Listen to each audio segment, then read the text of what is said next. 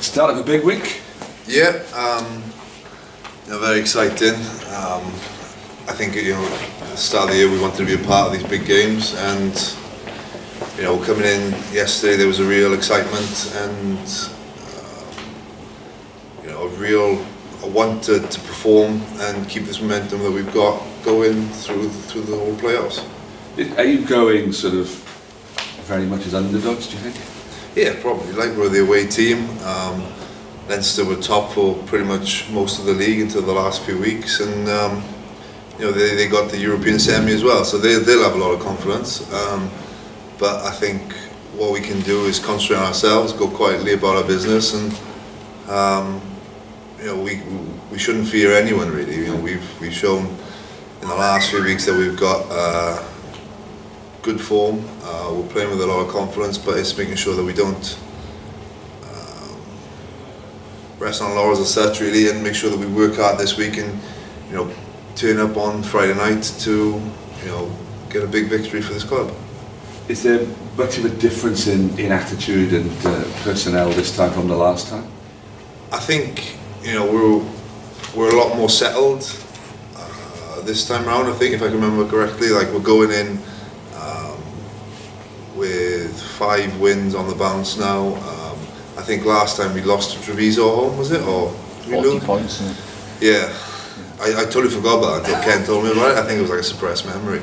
Um, but yeah, you know, I think we're, we're in a much better position. We were comfortable in what the coaches want from us in attack and defence. And, um, you know, I think we can go out there and, you know, hopefully match a very good Leinster, Leinster team and you know compete and you know I think we, we should back ourselves with our ability to you know cause an upset there. They've scored a lot of tries this season. They've really got some firepower there, haven't they?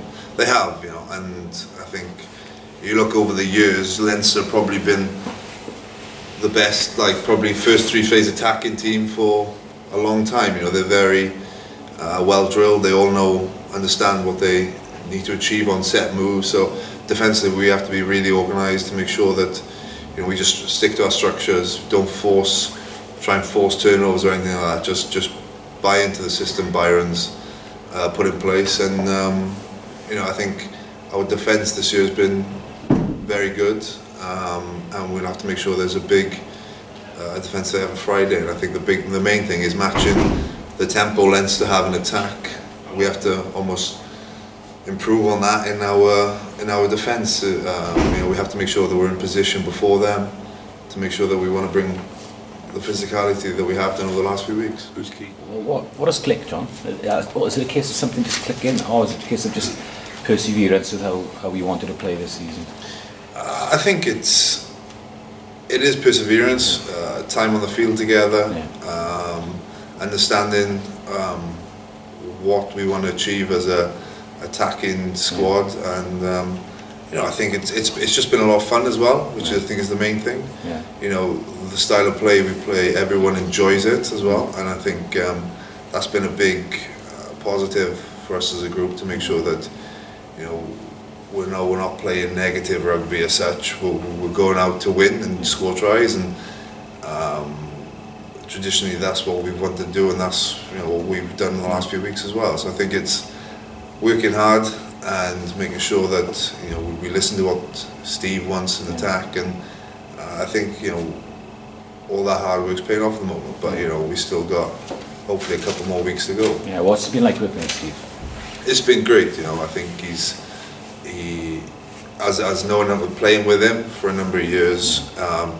he was always had great energy on the training field, and he, he's brought that into his coaching as well. But you know, he demands high standards. Um, you know, there's a lot of players here with um, in the backs with international experience, and um, you know, he expects us to make sure that standards in training don't slip off. And inevitably, I think that's what's helped us uh, become more accurate, take chances when you know when we get them, because inevitably, like they there isn't that many on the field, and you know, I think our conversion rate to when we get behind teams, get momentum has been pretty good.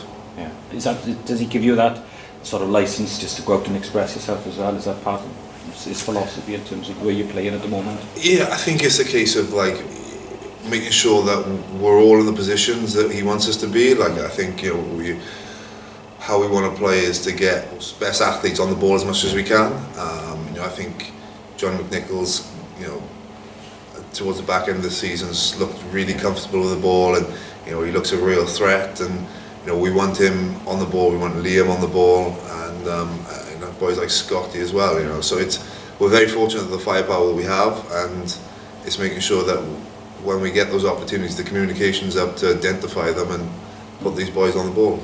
Wayne mentioned at a press conference last week that he thought yourself you, you hit in top form at, at the perfect time with the Lions tour ahead. How, how do you feel the season's gone for you, John, in terms of? You know, yeah, like it was like coming back. I had, I had a lot of expectation on me personally. I put a lot of pressure on myself to perform, yeah. and you know probably didn't go the way I wanted to at the start of the year. And you know I just had to persevere, um, keep working hard, and you know just listen to what the coaches want. Obviously, coming from a, another setup yeah. back here, obviously everything's changed from when I was here last time. So it, it took a while to find my feet again. And um, yeah, it's, it's, it's been great. I've loved it being back here, and um, I think it's the fact, like I said, I'm, I'm enjoying my rugby, um, and you know it's it's going you know, reasonably well. I'm pretty happy at the moment. Yeah. So, but. Um, yeah, it's it's just been a lot of fun as well. Yeah, you had a chance to speak to any of the Leinster boys last week in London. The ones I played with and against, you know, you've got a lot of respect for them, and I think um, you know they, they'll be ready to perform. You know, they they, they love the big stage as well. Um, you know, for us, it's just making sure that you know we don't get uh, in all of the situation. You know, like I think it's important this week that us experienced players make sure that the boys who quite haven't been there yeah. um, just make them understand the you know, the occasion and you know, not to be afraid of it just you know take it in and you know go out there and show what you can do on a, a massive stage you won at the RDS yeah um, 2007 uh, I think it was was that the last time the Scarlets won since? That was the 50 point. Yeah, during the World Cup that was. Yeah. I was on the bench, but yeah.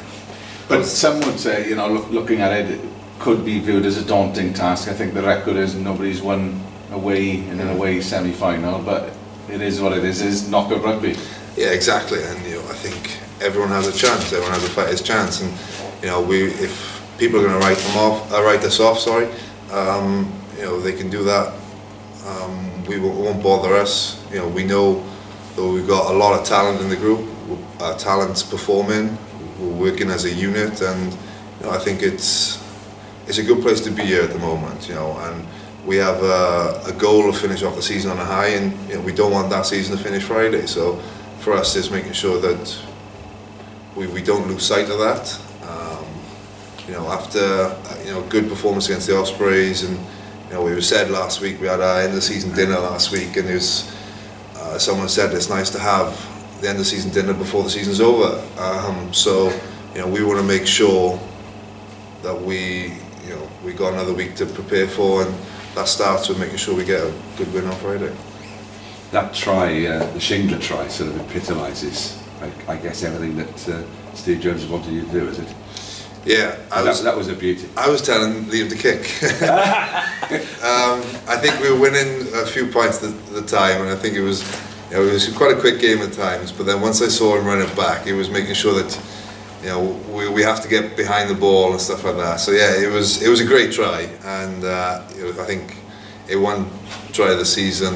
I think with us with a vote in as well. So um, the boys did enjoy it. It was a good try, and like you know we it just showed at the end like, the, the numbers coming through. Uh, people want to get their hands on the ball, um, and it it's a sign of that we're playing with confidence, and it, it's good to see. The we know all about the strike power behind, but the pack has really stiffened up this season too, isn't it? You wouldn't have had as many chances as he had without the effort they've done. Yeah, to be fair, like the the effort that you know the forwards have put in was huge. I think Steff's try in the first half was down to you know forward dominance in the scrum. You know, we, we had a chat with Gareth just before the scrum we said you know um, their blind side was going to have to scrummage hard so it, it would be on for Gar to get outside of him and you know that's only down to our forward pack giving us um, a platform to play off and it's you know it, it has been a pleasure to play off this year you know I think um, there's, it's a tough task coming uh, this week, but I think they they relish the opportunity going up against a you know a very strong team. Yeah, because if, you, if you're going to win at the weekend, it's probably going to be down to them, isn't it?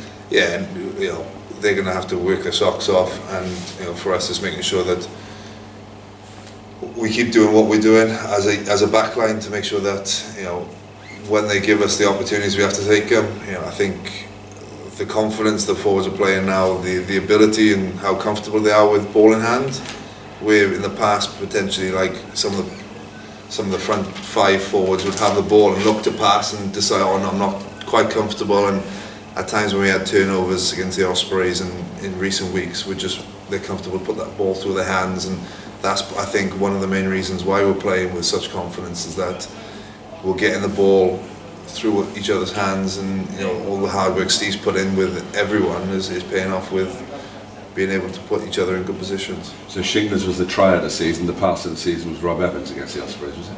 No, I'm not saying that. Uh, see, that's all he wants. I think he was he was gutted. He wasn't in, enough on the highlights video at the end of the season. Um, I think he expected himself to be on there a bit more. He's like, "Oh, why aren't there any scrums?" I said, "Rob, no one wants to see a scrum on a highlights package." Um, but no, like he's playing with a lot of confidence, and it, you know, he after coming back from a, a big injury in the summer, um, you know, he, he's a big part of our team, and I think the whole front row are working as a great unit, to be honest. Are you totally focused this week on? Well, you obviously are on, on Friday, but are you joining up with the Lions at all? Are you, you go for dinner on Tuesday, or No, no, no. Um, So it's head down and- head down, Yeah. um, and just concentrate on that. This is this is my main focus now. You know, I'd uh, I'd love you know come back here to play for my home region, and I couldn't think of anything better than winning uh, a trophy with them as well. I just a final thought on Liam. Um, Last couple of games. you just look how you know how big influential he's been in our in our performances, uh, the tries he scored and created, and you know he's he's up there with you know some of the best players in the world. You know people. He can do it all, you know. He, he defensively outstanding in the contact area. He's turned the ball over numerous times on on our line to get the ball back and, and attack attacker, and he's just as good. You know, I think um, it'd be a massive loss to this region. Um, but you know, you wish him well um, on the future, and hopefully we can give the boys, you know, uh, a good send off by hopefully putting a bit of silverware on the table.